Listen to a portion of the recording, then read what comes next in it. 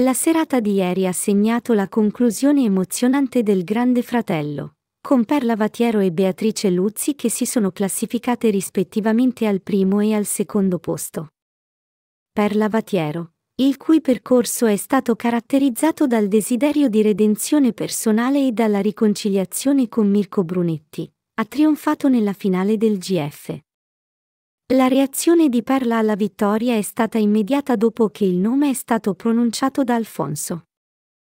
Visibilmente commossa e incredula, ha espresso la sua gratitudine verso i suoi sostenitori e poi si è precipitata tra le braccia di Mirko Brunetti, l'unico a cui ieri sera ha dichiarato il suo amore e con cui tornerà ufficialmente insieme.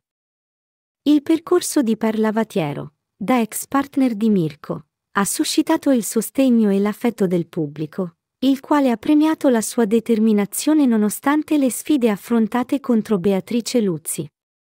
Tuttavia, nonostante la sua vittoria, c'è chi sui social media ancora mette in dubbio il successo di Perla. In effetti, indipendentemente dalle opinioni contrastanti, il percorso travagliato di una donna verso il successo merita sempre rispetto e ammirazione.